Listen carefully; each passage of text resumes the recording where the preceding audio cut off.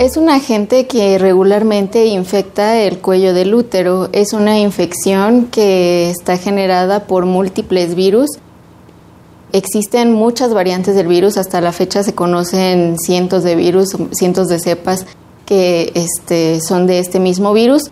Algunas se han relacionado con cáncer cervicouterino como agentes principales y algunas como causantes de verrugas genitales. Este es muy importante debido a que es causa principal del cáncer cervicouterino, una enfermedad muy importante en el país.